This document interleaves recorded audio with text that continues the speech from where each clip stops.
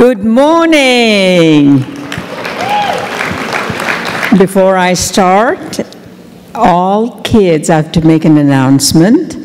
All kids and tweens, please meet outside the ballroom for the program that they have. So, and now, it is a great honor to welcome Chief Justice Nariman for Professor Kekashuddin Shah Irani Memorial Lecture, sponsored by FEZANA and ZAGNY. Recently retired from the Supreme Court of India, Justice Nariman was hailed as a lion of a judge. Justice Nariman who became the apex court judge in 2014, disposed 13,565 cases, delivered historic verdicts, including declaration of privacy as fundamental rights, setting aside of the IT Act provision empowering arrests, decriminalization consensual gay sex, and permitting women of all ages to enter Kerala Sabarimala temple. Yes, indeed, that is an achievement. As a young lawyer at the age of 37, Justice Nariman was designated as a senior advocate at the Supreme Court of India. While appointing him, the rule had to be amended as the minimum age for being made a senior in the Supreme Court was 45. He held successively significant positions, including the Solicitor General of India.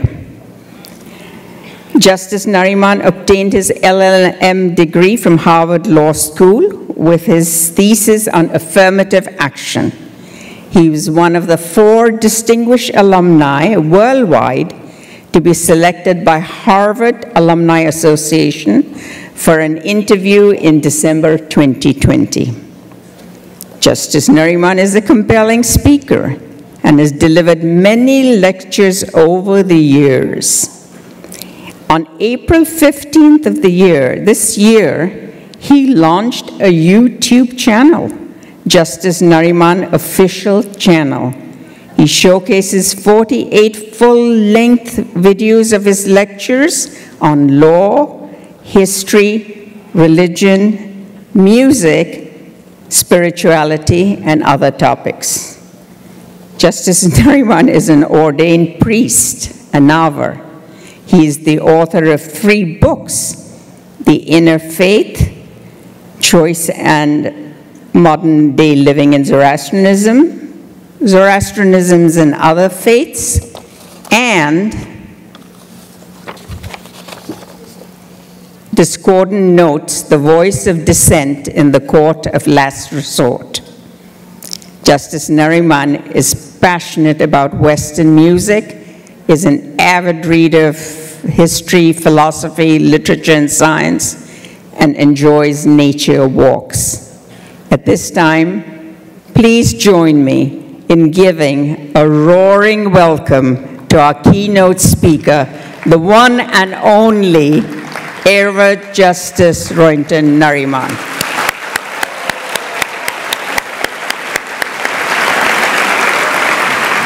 So he's coming up?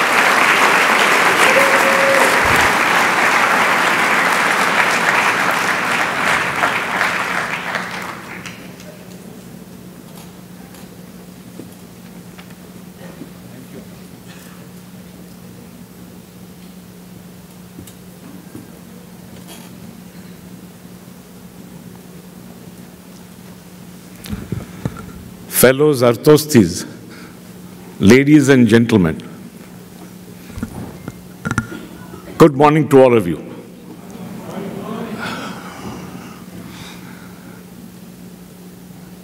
I am so happy to be here before you today. The very national anthem that was sung so beautifully today has a Parsi connection. Francis Scott Keyes composed it during the 1812 Anglo-American War on the HMS Minden. And the HMS Minden was a ship built by the Wadia master builders in Surat.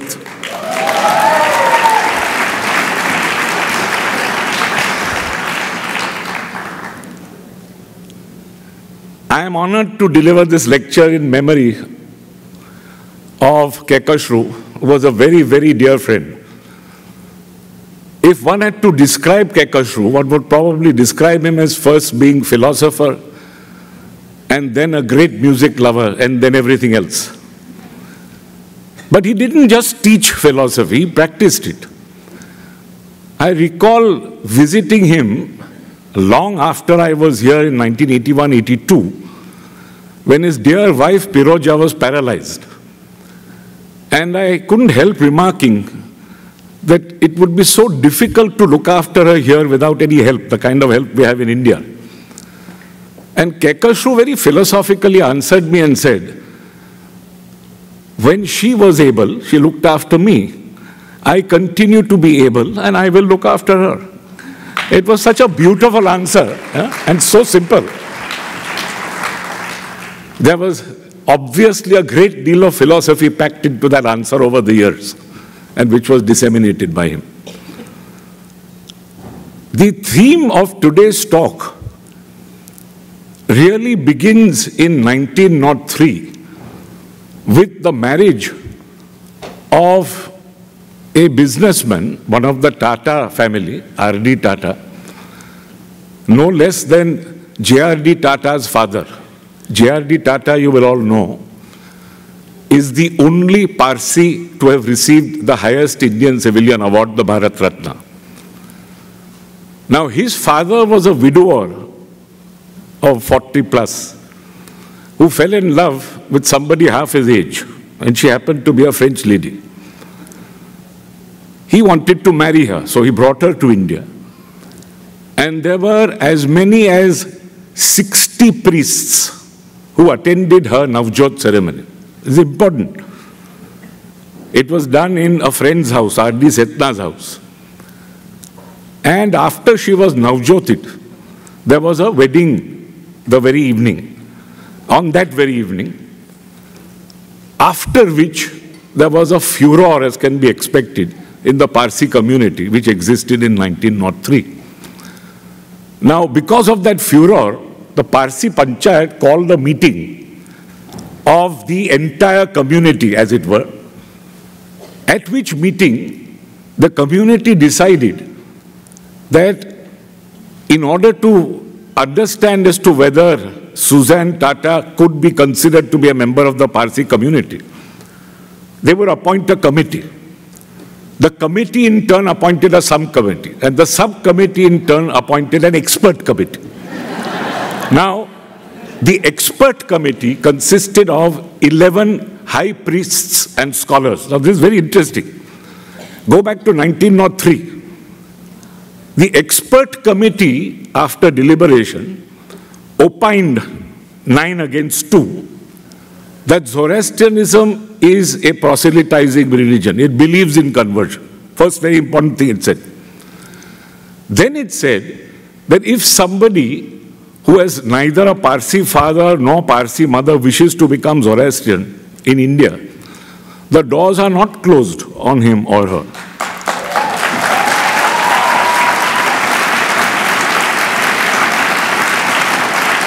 It's amazing. Go back to 1903. And in 1903, they said that if a committee set up by the community is satisfied that the person is bona fide wanting to become Zoroastrian, then watch him or her for a period of one year, probation of one year, see how they behave in that year, and after that year is over, if the person passes the test, you can navjot the person, but after a barashnum, which is a ceremony of nine nights of purification.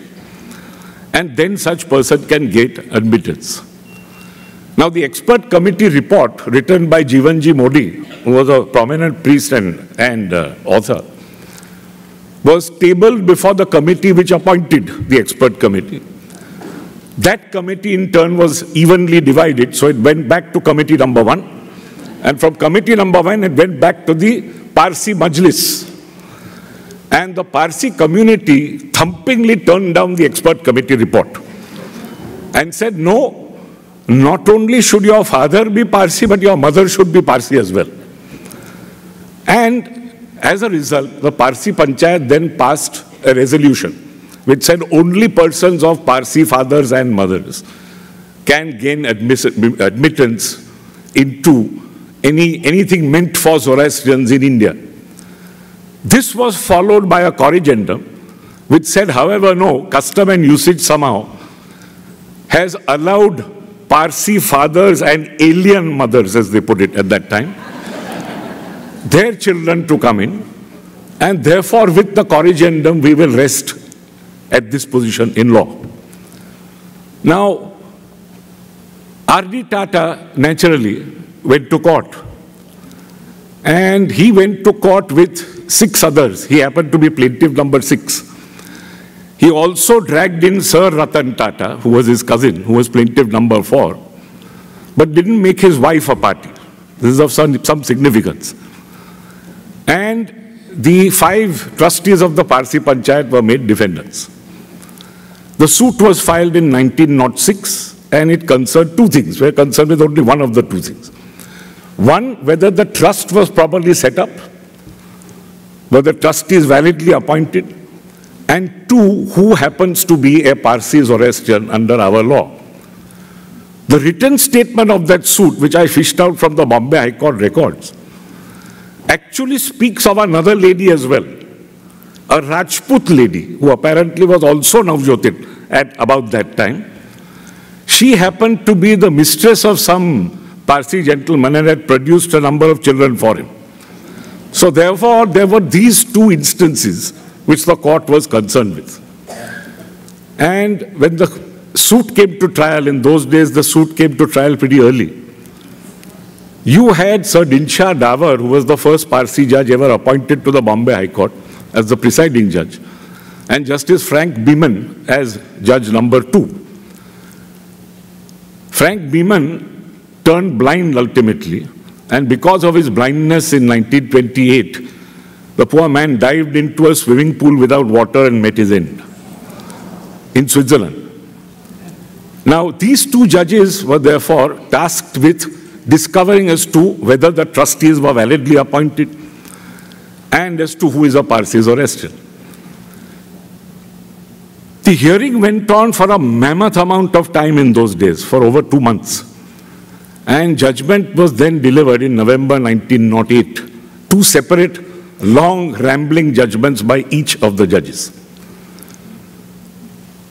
Put before the court were three interesting instances of conversion on Indian soil. Now, mind you, the court proceeded on the footing that Zoroastrianism is a religion which, which says that you must convert. Question was whether you can convert on Indian soil. So, what was put forward was first the case of some Hindu Pandits. Now, this was very early. And at the time, we are told of Naivyo Dhaval. So it's at least a thousand years old. These three Pandits are mentioned in a, a text called the Dhup Nirang. And their names are given, interestingly enough. One is Bio, one is Jesal, and one is Shobul. Now, these three Pandits, we are told from the Dhup were persons who took to the kind of fire worship we believe in and actually converted. So this was cited as instance number one. Dinshaw Davar poo-poohed this and said, very likely, contrary to the text before him, there were persons who helped us and therefore probably not converted. Frank Beaman didn't buy that argument and said, no, very probably they were converted. But anyway, that was so long back that let's try and come to some later instances. The second instance put forward was that of Emperor Akbar. Now, Emperor Akbar, as all of you know, was a remarkable human being. He had what was called an Ibadat Khana or a council of world religions. Can you imagine? A council of world religions in 1578 and 1579, where everybody from every hue attended. We are told Sabians also attended. Sabians are people who came from Yemen. So there were Jews, there were Buddhists, there were all sorts. And Meherji Rana, the chief priest from Navsari, attended. And apparently made such a remarkable impression on Akbar that Akbar had a fire burning in his court after the sessions with Meherji Rana. So the fire had to burn continuously. He then adopted our calendar so that between Akbar and Aurangzeb's reign, if you look at any significant event, it will say Ma Farvardin Roj Behram, for example. And most importantly, he had Jamshedi Nowroz celebrated as Diwali is celebrated today in India. So that became the major festival of Mughal India. So Akbar, therefore, was said to have been invested with the Sadra and the Kasti by Meherji Rana were told this directly by the Portuguese priests who attended the ceremony and recorded by many historians, including Vincent Smith. The committee, uh, I mean, the, the Majlis back in Navsari were in jubilation. The emperor ultimately has become Zoroastrian. Now, this again, Dinshaw Davar poo-pooed by saying, how can we say that even though he wore a Sadrana Kasti, that he converted? because we have no evidence of any Atash Behrams being built by him or any Dakhmas being built by him. That was the answer he gave. Beaman said, I am prepared to believe that Akbar did become a Zoroastrian. And the sufferer, of course, was Jivanji Modi because he was very harsh on Jivanji Modi for having written a book on Akbar, having stated in the book that he was converted and then having tried to wriggle around in the witness box. But Ultimately, the two judges differed on Akbar as they differed on the Pandits. And the third instance was given of an 1882 Mazgaon converts, as they were called at that time. There are some 11 persons who were probably illegitimate children of Parsis with Dubrans. And uh, they were Navjotit between age 35 and 70. And several uh, prominent priests Navjotit them. Now, this was accepted by Davar, accepted by Beaman, but, said Davar, the father was Parsi, so there's no problem. So, whether Dubran, whether illegitimate or otherwise, so long as the father is Parsi, it's all right.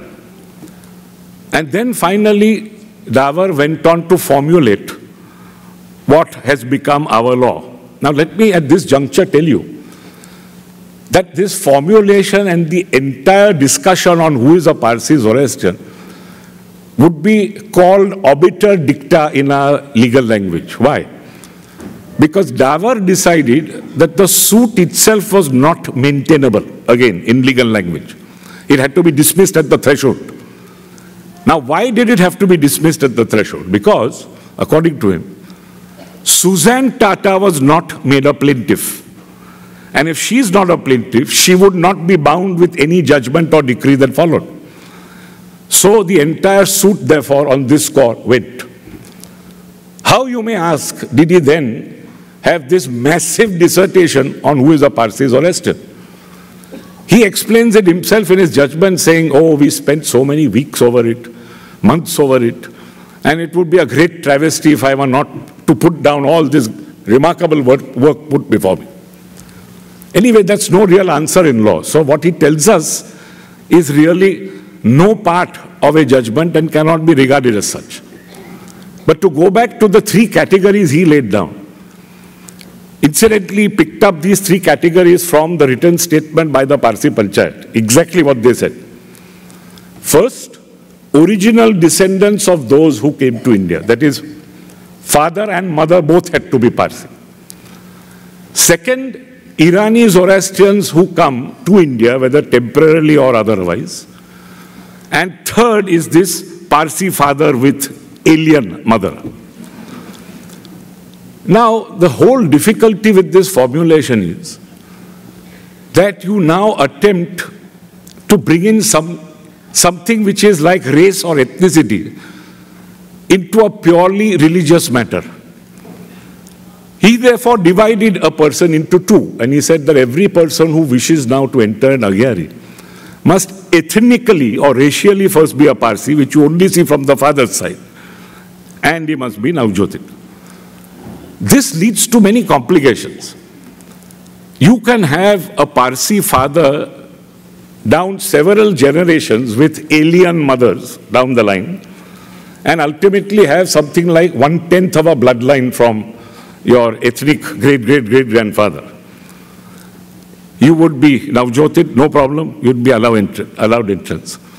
But if you happen to have a mother who was Parsi, and you happen to have a father who was half Parsi but the other way around, not through his father but through his mother, and therefore in your bloodline you were three quarter Parsi, out you went. So this was the first problem with this formulation, this so-called ethnic formulation. Then, of course, you have the other problem with Iranians, because nobody looks into the antecedent of the Iranian who has come here, temporarily or otherwise. And that was pointed out by the English judge. The Iranian could be a person who could have been, let us say, a Shia Muslim for the last 10 generations who had converted in Iran because that was permissible and come here and gave, would gain entrance straight away without, without more. Now, given these conundrums, our law, therefore, ultimately then resolved itself on the question that both judges asked.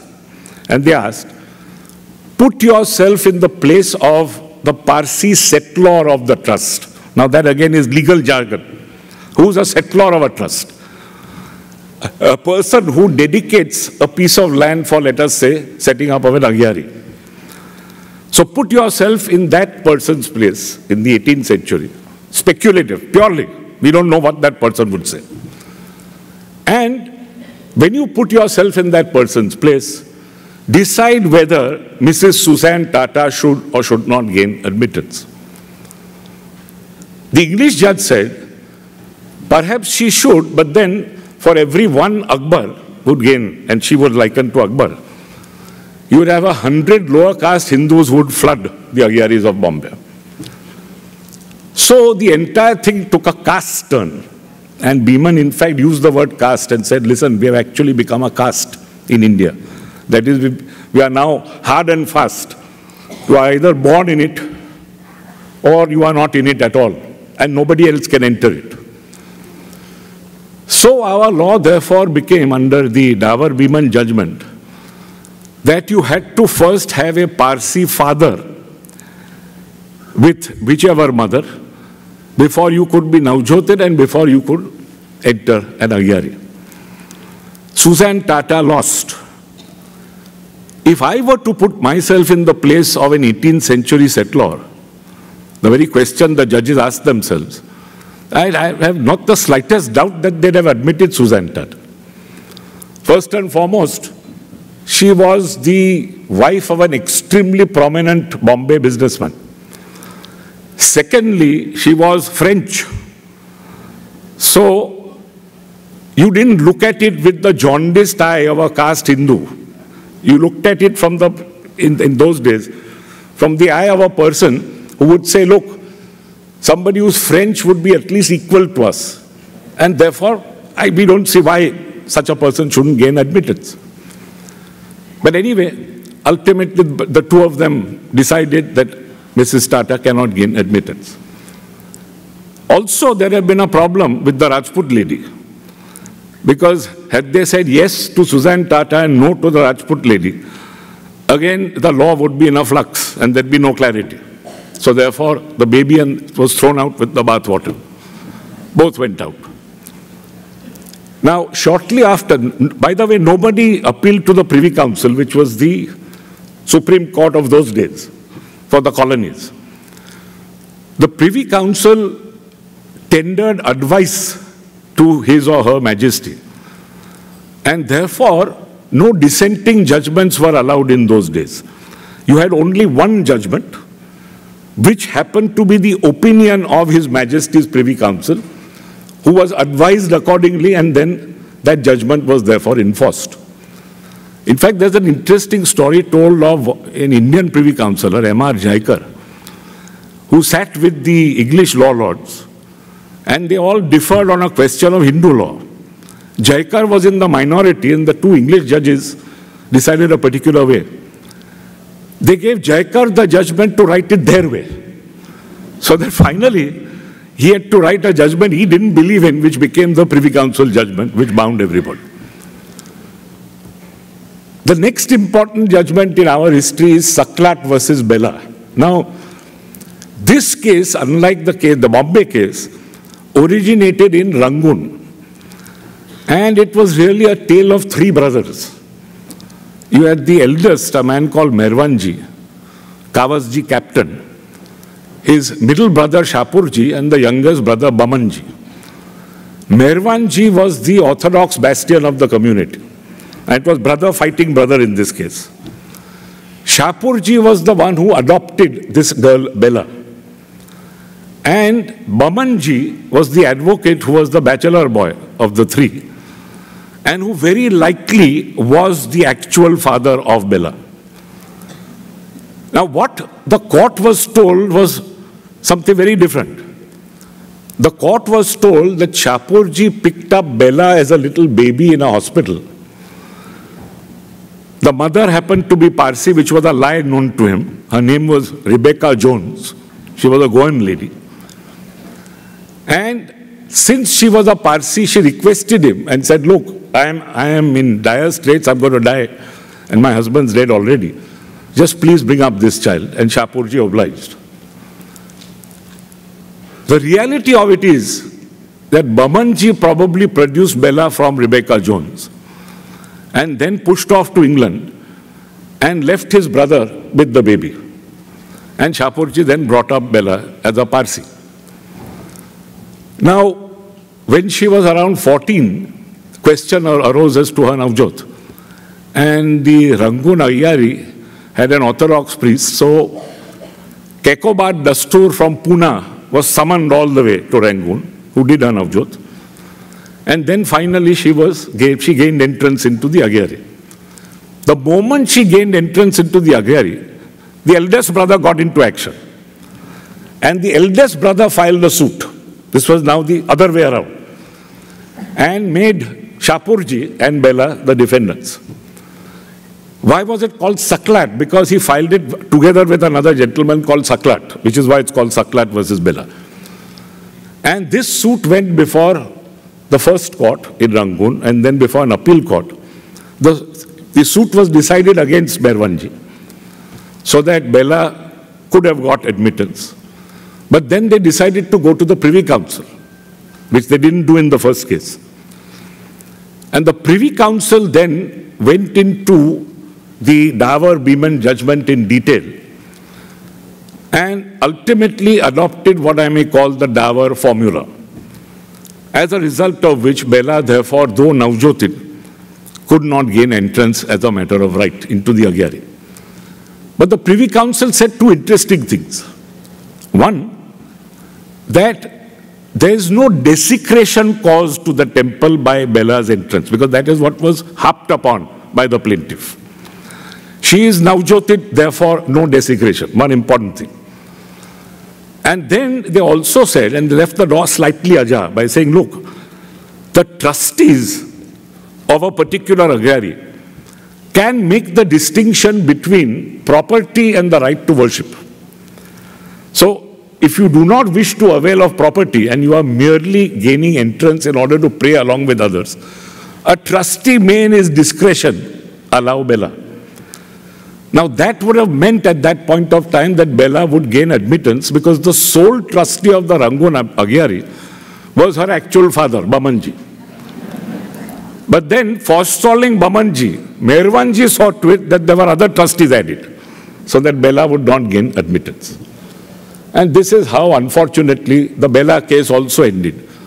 And how, unfortunately, therefore, our law, therefore, became an ethno religious law instead of merely being a religious law. Another important thing Davar and Beaman were shown an 1872 act. The act said and defined a Parsi as a person who professes the Zoroastrian religion and spoke of the Parsi religion.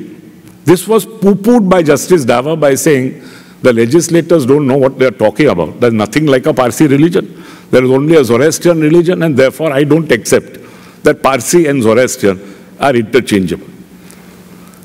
Incidentally, long after, in a case called Mehravan versus Sarwar Irani in 1960, a single judge went into the evidence in great detail, and there was evidence before Justice Davar as well, that Parsi and Zoroastrian were interchangeably used. It was pointed out that in Iran, Muslims called Zoroastrians Parsis. Parsi ultimately was something like Prussia, the origin of the place from which you came, nothing more. And don't forget, when we came here so many thousand years ago, we didn't come to preserve our race, we came to preserve our religion. And Justice Beaman correctly pointed out that we are like the pilgrim fathers of the Jews. The pilgrim fathers ran away from England to preserve their Puritanism, which was their religion in 1620. And the Jews, after 70 AD and Titus, Titus's destruction of their third temple, so to speak, went all over the world in order to preserve their religion. So the whole thing was looked at from the point of view of race when it should have been looked at from the point of view of religion.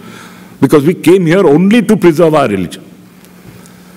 And finally, therefore, the law laid down till the Constitution or the advent of the constitution was, so long as you have a Parsi father, you are in. If you don't have a Parsi father, you are out, which meant that girls who marry alien husbands, so to speak, are not allowed to bring up their children as Parsis or as Estian. In 1950, we have the Constitution of India, which comes in. The preamble speaks of many things, including liberty, equality, fraternity. Now, liberty is fleshed out into liberty of thought, belief, faith, worship. And this further finds itself in the Fundamental Rights chapter, part 3 of our Constitution. And there is an extremely important article, Article 25, which goes something like this. It says, subject to public order, morality, and health, and to the other provisions of this part, which means other fundamental rights and persons who wish to enforce those fundamental rights. Subject to these two things, all persons, please mark the word all, have the right equally, mark the word equally, to conscience first, and the right freely, mark the word freely, to profess, practice, propagate religion.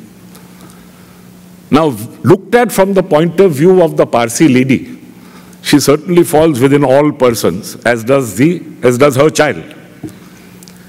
What is she entitled to? She is entitled equally, that is equal to her Parsi male. She is entitled equally to do what? To freely, mark the word freely, free again from constraint, freely practice and propagate. Now, one of the meanings of the word propagate is send down to her children. So, we have an article which specifically speaks of Parsi women who have this right to propagate their religion, which is their Zoroastrian religion, no matter who they are married to, in favor of their children. Now, again, constitutional pundits will put two things against me immediately. One, Article 25 operates only against the state and not private individuals. Easily answered. You have another article in the Constitution, which is Article 13, and which says, all laws in force which are contrary to the fundamental rights chapter now, which has come into force, shall be void and of no effect. And law and law in force are defined as including custom or usage. So straight away, if you have a custom or usage which recognizes only the Parsi male and not the Parsi female, out goes that law. So, no problem, state action doctrine invoked. Davar, Beaman, and the Privy Council have to go on this call. Even otherwise, Article 25 is couched in general language, like some of the other articles which have been construed by the Supreme Court as being articles which reach out, reach out to private individuals as well. Now, you have, for example, Article 17, which says untouchability is now out of the window. And if anybody practices untouchability, he is liable to be, uh, in fact, he is liable to go to jail because there is an Offences Act now.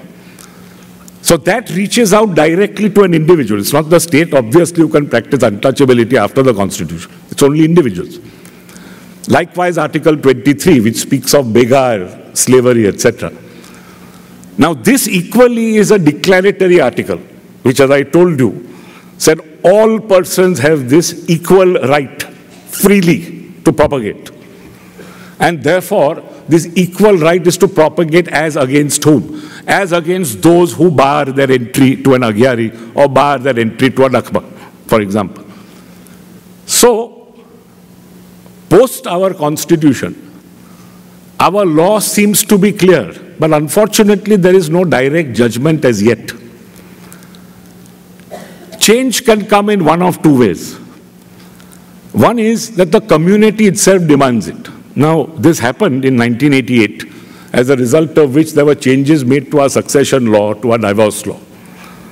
And one other interesting thing, even the Parsi Marriage and Divorce Act of 1936, that is long after Davar Beaman, long after the Privy Council, spoke of the Parsi religion.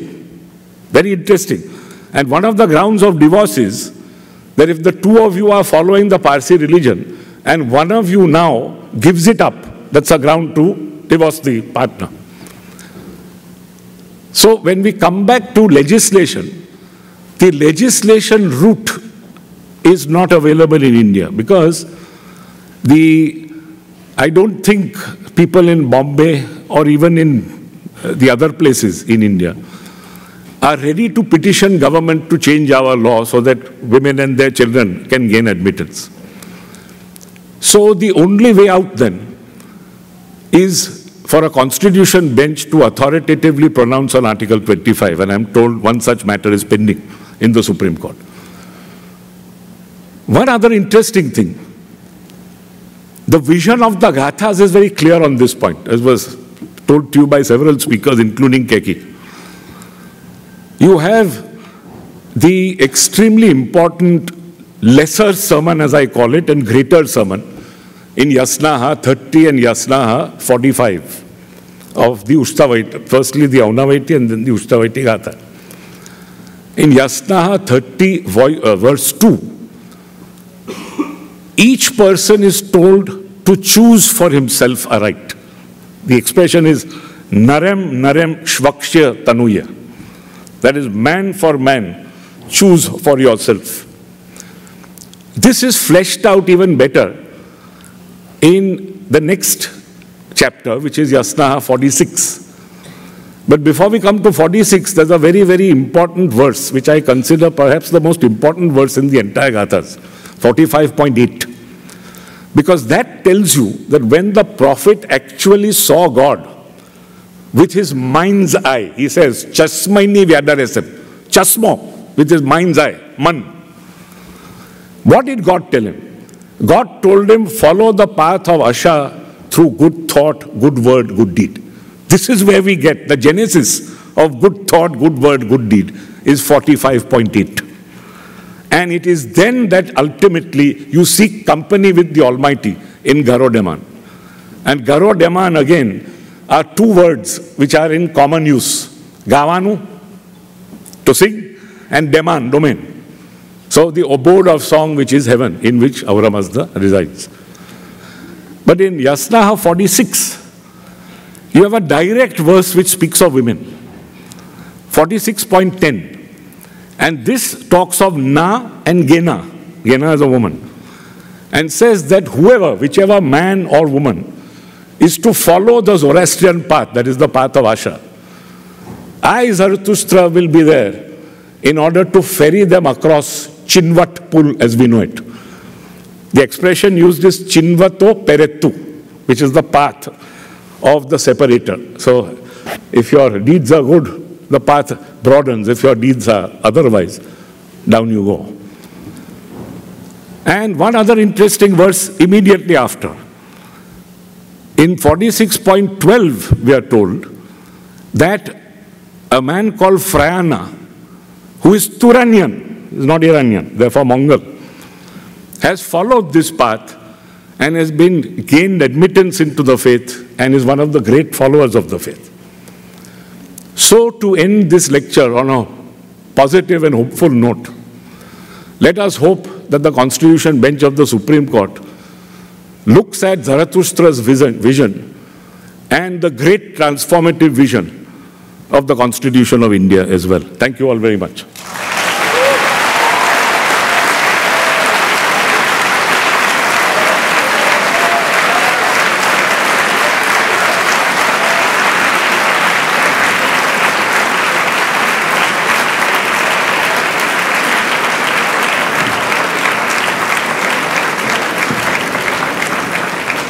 Sorry, I've come back like a bad penny.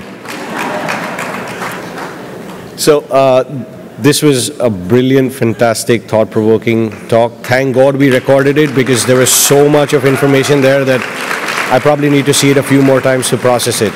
On behalf of the Congress, there is a small token of appreciation. The actual one is too big to give Justice Nariman to on behalf of the Congress, there is a small token of appreciation. The actual one is too big for Justice Nariman to carry in his luggage back to India. So here is just a small thing. It will be delivered to him back home. Thank you, sir. Thank you. Thank you.